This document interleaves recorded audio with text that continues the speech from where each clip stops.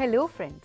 Now that you are well aware of the mathematics kit, let us see how these different items may be used to perform the various activities.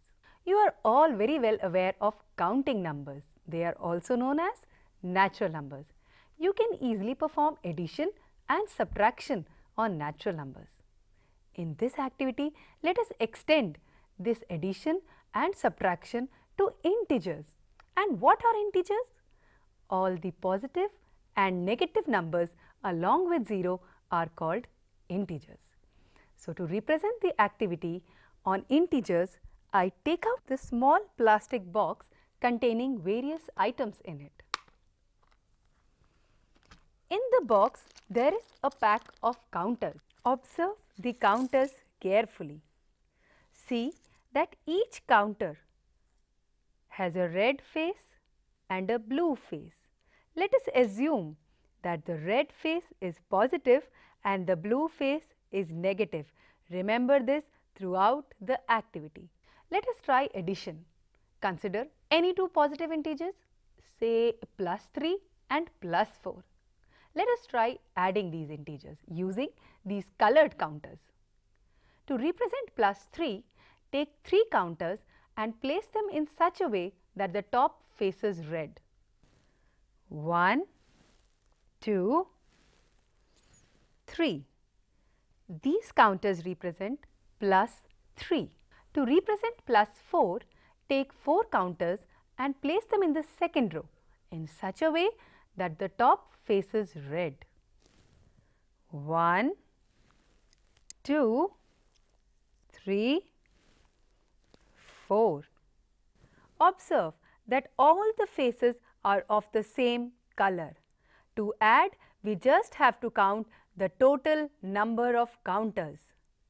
1, 2, 3, 4, 5, 6, 7. So, our sum is 7, but positive or negative. Since all the faces are red in color, our sum is plus 7. Wasn't that easy? You can also try addition of integers in the same manner.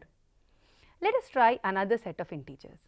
Let us see what happens when we add two negative integers, say minus 2 and minus 5. To represent minus 2, take two counters and place them in such a way that the top faces blue. 1, 2. These represents minus 2. To represent minus 5, again take 5 counters and place them in the second row such that the top faces blue. 1, 2, 3, 4, 5. Observe the faces of the counters again. They are again easy to add. Why? Since the faces are all of the same color. To add them, we just need to count the total number of counters. Let us add them. 1, 2, 3, 4, 5, 6, 7. So, our sum is 7, but positive or negative? Since all these faces are blue in color, our sum is negative 7. Same way as you added the positive integers. Wasn't it interesting? Let us see what happens when we have to add one positive and one negative integer. Let us try to add plus 3 and minus 5.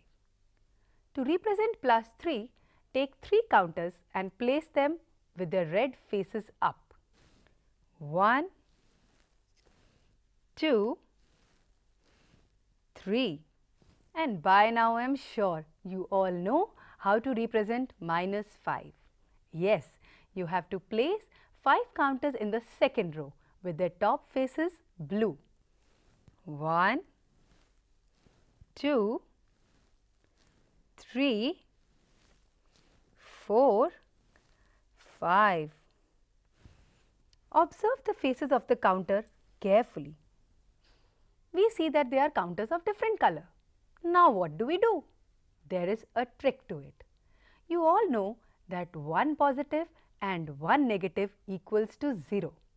So make pairs of each red face counter with a blue face counter and each pair will represent a 0. One red counter and one blue counter together form a 0.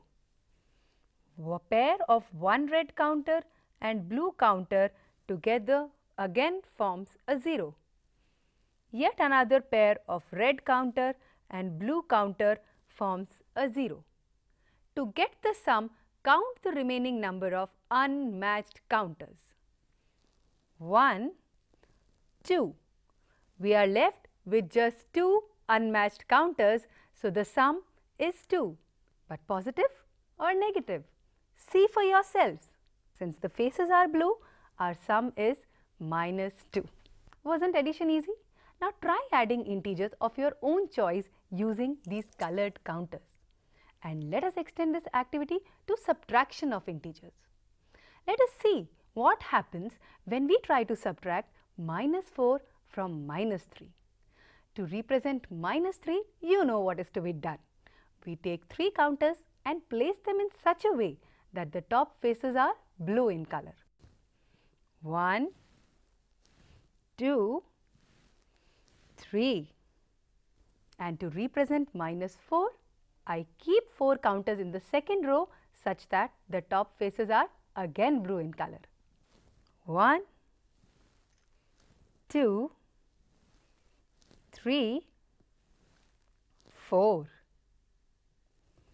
To subtract minus 3 from minus 4 but to subtract you should remember one thing that subtraction is the inverse of addition. And how do we represent it on a number line? By changing the direction. So here we invert the faces of the counters kept in the second row, something like this. 1, 2, 3, 4. So we see that the counters in the first row are as it is and the counters in the second row have inverted faces. We again make pairs of one red and one blue counter to get a 0. One blue faced counter matched with a red faced counter to get a 0. Another blue faced counter matched with a red faced counter to get a 0. The last blue faced counter matched with the red faced counter to yet get another 0. Count the number of unmatched counters left to get your sum. 1. I am left with just one unmatched counter. So, my sum is 1. But positive or negative? You all know that since the face is red in color, my sum is plus 1. From integers, let us now move on to whole numbers and decimals. The next activity that I am going to demonstrate will help you to understand the place value system and addition and subtraction of whole numbers and decimals. To perform this activity, take out the wooden stand. Observe that there are 5 holes drilled on the stand. Then take out the 5 aluminium rods from the kit box and fix them in the holes drilled on the abacus stand.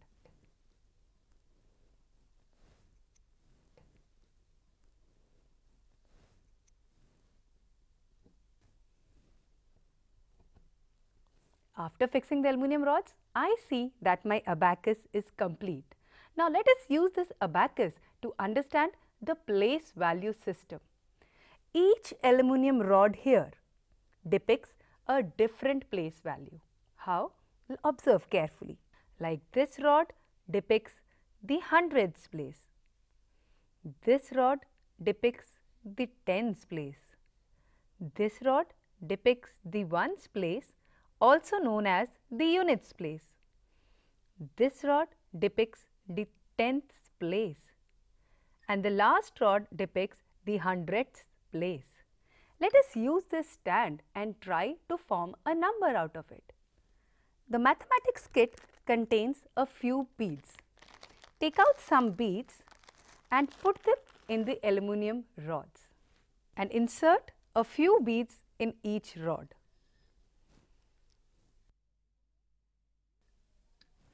Isn't this stand looking colorful? Let us try to read the number that is represented on this abacus stand. Notice that the aluminium rod on the hundreds place has 1, 2, 3, 4 beads in it. So, the place value of this rod becomes 4 hundredths and the number it depicts is 400. The rod at the tens place has 1, 2, 3 beads in it. So, the number it depicts becomes 3 tens or 30. In the next rod, I have 1, 2, 3, 4, 5 beads in it. So, the place value becomes 5 ones and the number is 5. The rod at the tenths place has 1, 2, 3, 4, 5, 6, 7 beads in it. So, the place value becomes 7 tenths and the number it depicts becomes 0.7. The last aluminium rod at the hundreds place has 1, 2 beads in it. Therefore, the place value becomes 2 hundredths and the number it depicts is 0.02. So, what will be the number in whole now? Let us see for ourselves. The number depicted is 435.72. Wasn't it easy? You can also try representing as many decimal and whole numbers using this stand.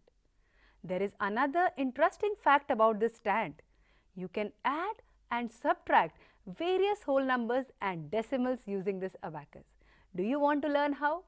You can, but you need to just keep one simple rule in your mind that you cannot fill more than 9 beads in any of these aluminium rods.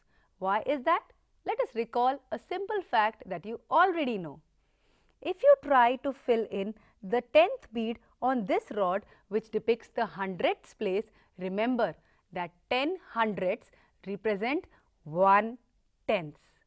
Similarly, 10 tenths represent 1 units. Same way, 10 units represents 1 tenths and lastly, 10 tenths will represent 1 hundredths.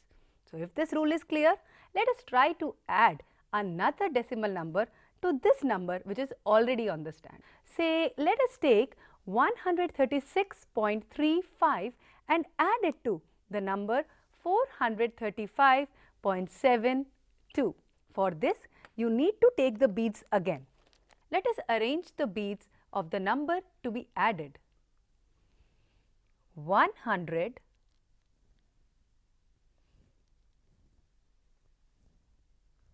30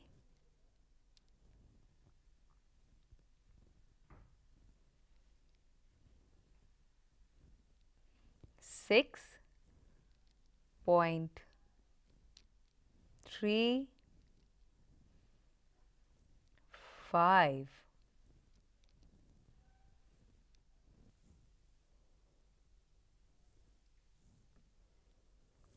Now, let me try to add this number with the number already on the abacus stand.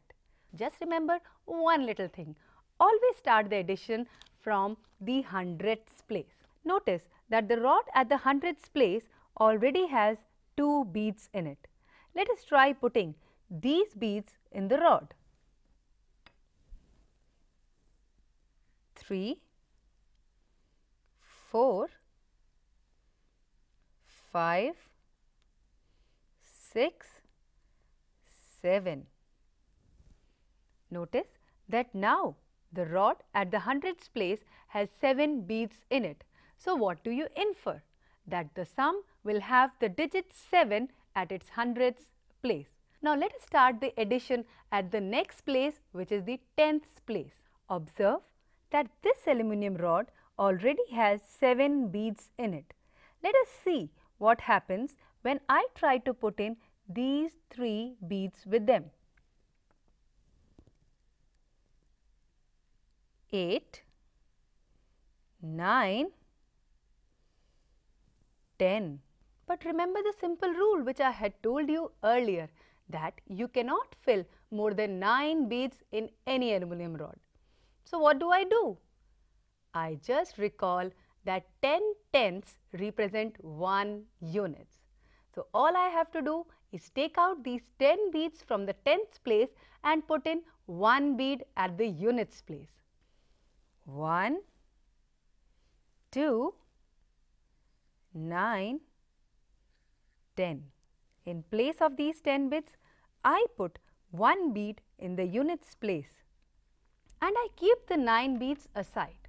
Observe the rod at the units place will have 6 beads, but the rod at the tens place will not have any bead. What do we infer from this? That there will be no value at this place. So, the digit at the tens place in the sum will be 0. Let us try to add digits at the units place. Since this rod already has 6 beads in it, let us try to see what happens when we add these 6 beads to it. 7, 8, 9, 10. But I again remember the rule that I cannot put more than 9 beads in any aluminum rod. So what do I do? I repeat the same process. I take out the 10 beads from the units place and just place one bead in the tens place. 1, 2, 9, 10. In place of these 10 beads at the units placed, I just have to put one bead at the tens place. Now the tens place will have 4 beads and I keep the 9 beads aside. Observe that I still have 2 beads left to be put at the units place. Let us try putting these beads at the units place. 1, 2. The rod at the units place now has 2 beads in it. So, what do you infer? That my sum will have the digit 2 at its units place. Can we go on to the next place? Alright. The rod at the tens place already has 4 beads in it. Let us try to put in these 3 beads into the rod. 5, 6, 7. Now, the rod at the tens place has 7 beads in it. This implies that our sum will have the digit 7 at its tens place. Let us try adding the digits at the hundreds place. This rod already has 4 beads in it. Let us put this one bead inside the rod. 5. Notice that there are 5 beads in the rod at the hundreds place. Now you should have already known that the sum will have the digit 5 at its hundreds place. So what is the number that is represented after addition on this abacus stand? 572.07. So my sum is 572.07. Wasn't the addition easy? You can also try adding different decimal and whole numbers using this abacus. Let us wrap up the episode now. I know you all will be eagerly waiting to see what more activities can be performed using this mathematics kit. But for that, you have to watch the next episode. Bye for now.